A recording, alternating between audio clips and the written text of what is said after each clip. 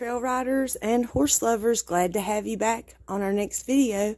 If you'll recall, last video, we were headed out to Kansas to pick up these adorable little weanlings and one cute little yearling filly.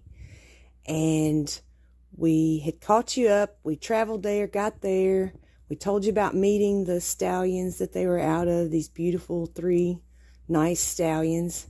And now we're ready to pick back up on our day two of handling these babies. We met them last night. We got up early this morning, and now we're heading over to the barn.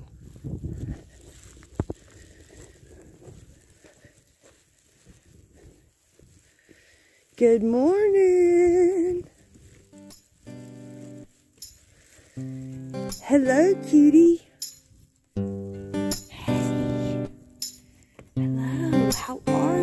This morning? Are you excited? She says it's cold.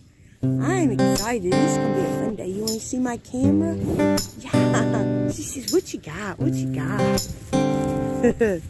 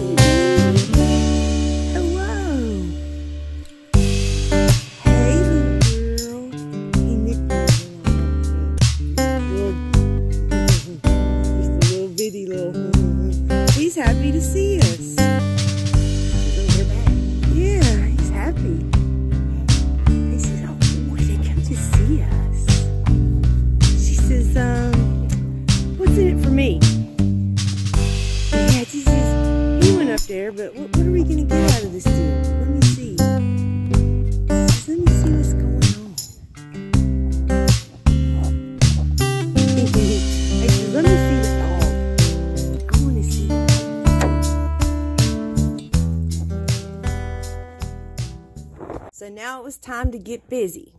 We had to get these foals um, halter broke, leading, tying, doing all the things that we needed them to do, stepping up on stuff, doing all the things we needed them to do before we left with them on our trip. So we spent some time doing a little desensitizing, getting them used to our ropes, and again being led. Remember, these babies, this is all new to them. They had only really been handled for maybe a couple of weeks, I guess, at this point, and not much.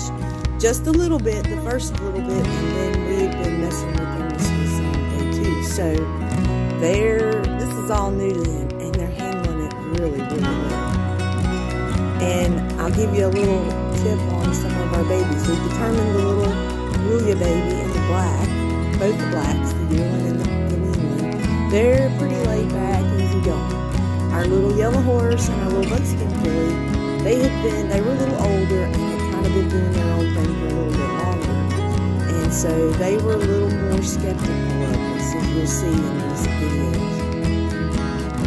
But you just do what you know to do is the right thing to do, and you keep working with them, and you leave them wanting more. That's the way to leave them right there. So we got a good night's rest. Morning came again early, and we were headed back over to the barn for day three of playing with these babies and getting them ready for this 1,200 mile trip home.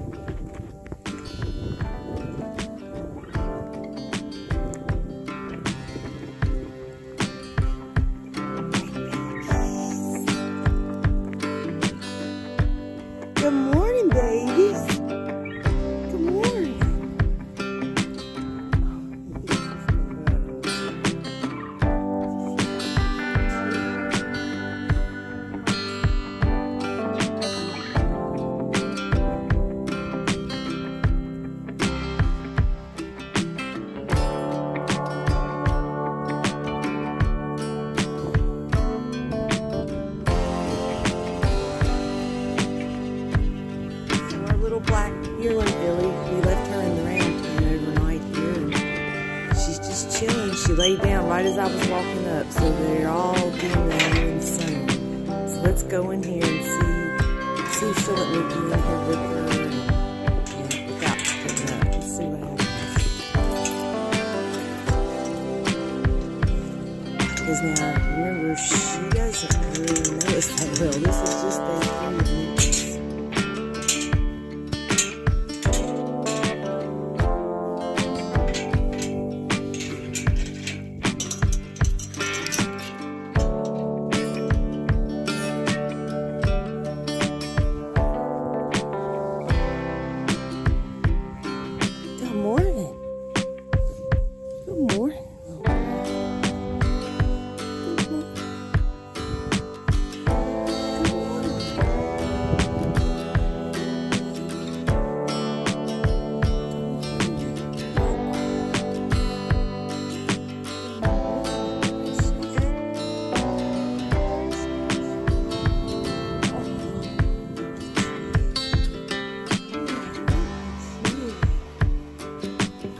Hallelujah.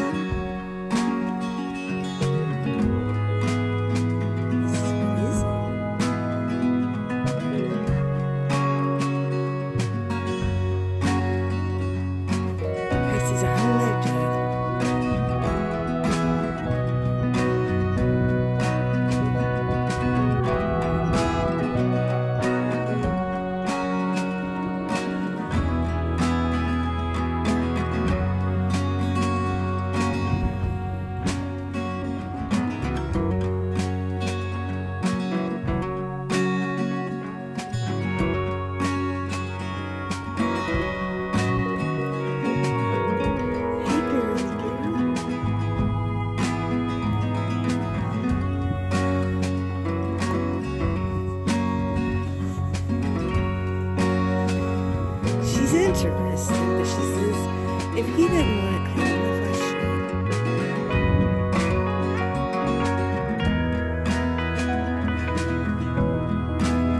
Doing the things we had done the day before, getting stand tied, teaching him some ground skills, desensitizing to our tools and us. And as you see here, little buckskin fillies starting to buy in. She's licking and a chewing.